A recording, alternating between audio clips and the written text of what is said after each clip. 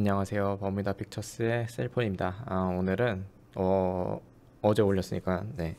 오늘 이제 어제 예고한 대로 그 라이팅 세 번째 강좌인데 오늘 굉장히 짧아서 좀 빨리 올리려고 생각하고 있었어요. 그래서 네.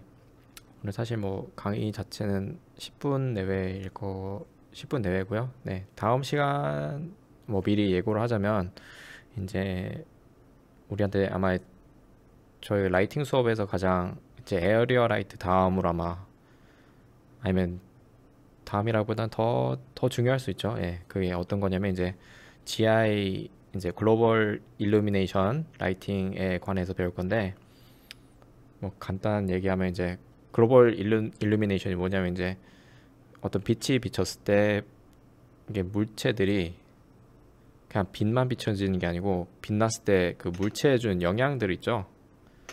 네, 그런 거에 관해서 한번 이제 배울 거고요. 어, 오늘은 짧게 네, 어, IS 라이팅을 해서 음, 어떤 조명 효과죠. 조명 효과고 사실은 좀 현실적인 라이팅이긴 해요. 그냥 우리가 보통 쓰는 스포트라이트보다는 좀 더 현실적이고, 네. 그래서 좀 많이 쓰이는 라이팅입니다. 이거는. 네, 그래서 한번 배워보도록 할게요. 자, 이렇게 화면을 살짝 카메라 이제 캠을 위치를 바꾼 이유가 여기 콘텐츠 브라우저 좀 보여드리려고 이렇게 잠, 잠깐 옮겨놨어요. 자, 그래서 신 세팅은 제가 해놨고요. 보기 위해서 아, IS 라이팅이 이제 그 제 의미를 찾아봤어요. 이렇게 의미를 설명해 주, 해주진 않더라고요. 거기서 근데 이게 이제 IES가 Illuminating Engineering Society라는 말 쓰는데 왜 붙었는지 모르겠지만 어 어쨌든 이런 그 프리셋 가지고 이거 preset이 있어요. 이렇게 가지고 어떤 빛의 이런 분포도를 이렇게 어 만들어주는 그런 거예요. 예, IS 라이팅이라는 게. 아, 그래서 한번 비교를 해볼게요. 그래서 이거는 보통 우리가 쓰는 스포트라이트고요. IES는 general 보시면 여기 타입에 이렇게 말고 맨 밑에 IES가 있습니다. 이렇게 해서 눌러줍니다. 이렇게 눌러주게 되고 그러면 여기 photometric이라는 게 새로 생길 거예요. 아마 photometric이 생기고 여기 보시면 이제 뭐 어, intensity에서 이제 밝기 조절할 수도 있고요.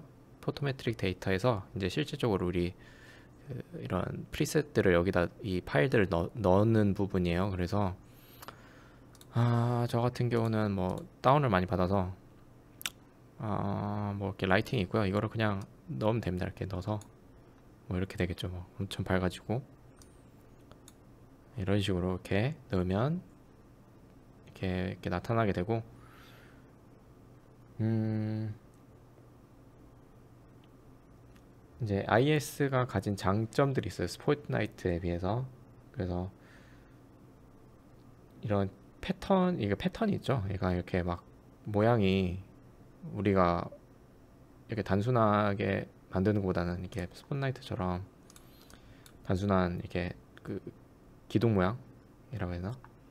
네, 골무 모양의 이렇게 만드는 것보다는 다양한 패턴의 이런 식으로 이렇게 프리셋처럼 다양한 패턴의 라이팅을 만들 수 있는 게 장점이고 그 이런 빛의 도달거리도 우리가 포로프죠 포로프를 따로 이렇게 어, 의미대로 네, 정할 수 있는 그런 장점이 있습니다.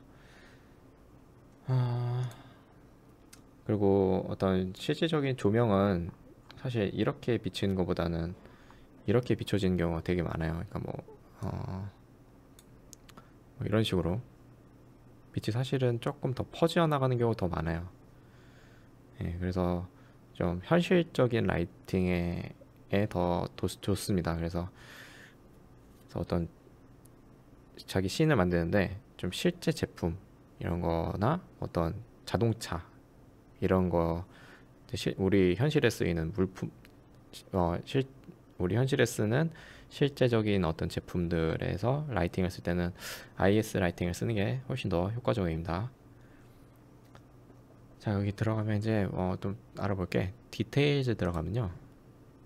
falloff가 사실 우리가 이거 저번 area light 시간에 이렇게 보면 이렇게 우리가 정해줬는데 falloff 거리죠 네, falloff 얼마 빛에 도달하는 거리 우리가 정해줄 수 있는데 이거는 이렇게 정해줄 수가 없어요. 왜냐면 이제 얘가 이미 그 빛의 도달 거리를 다 정해놓은 그런 lighting이어서 우리가 따로 조정을 할 수는 없고 어 그리고 photometric 다시 들어가시면 이렇게 intensity가 있는데 이걸 조절할 수 있습니다. 이렇게 빛의 밝기를 조절할 수가 있고요. 나는 사실 좀더 자세하게 좀 더 조절하고 싶다 그러신 분들은 photometric intensity를 끕니다 이렇게 끄고요. 그러면 여기 general에서 이렇게 빛의 밝기를 조절할 수도 있, 고요. 네, 저걸 끄게 되면 photometric 아니 이제 디테일 들어가셔가지고 이제 falloff도 우리가 정해줄 수가 있어요. 그래서 뭐 500 하면 네 정해줄 수 있고 그 대신 이제 또 장점이 이렇게 패턴 자체는 바뀌진 않아요. 그래서 세세한 조절이 할 때는 이렇게 그 photometric intensity를 꺼주고 조절하시면 됩니다. 어, 네, 그래서 네 이게 다고요. 어, 제가 이거 실제 그러니까 외국 tutorial 하신 분 말로는 이제 그 실제 씬에서 한번 이걸 연습한다고 하시는데 저 제가 할지는 모르겠어요. 그래서 만약에 어떤 lighting 수업이 좀 인기가 좋고 한다면 제가 실제 씬에서 한번 어떻게 적용시키는지 그리고 어떻게 그 구성을 해야 되는지 이런 거 좀 한번 해볼까 생각 중입니다.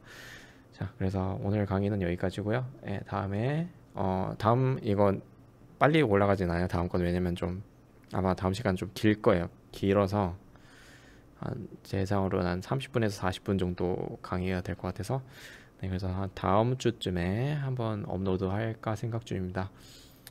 아 그리고 어, 개인적으로 댓글 잘 다시는 홍, 저희 홍선님, 홍섭님, 네 그래서 저희 10호D 유저 그룹에도 자주 질문해 주시는데 그 키보드 이렇게 작업한 거 있어요. 실제적인 옥테인 가지고 그거 한번 작업을 이제 슬슬 시작해 보려고 하고 있고요. 네, 그래서 아마 라이팅 수업 도중에 한번 올라갈 것 같습니다. 네. 어, 그래서 네, 다음 시간에 다 또 뵙겠습니다. 예.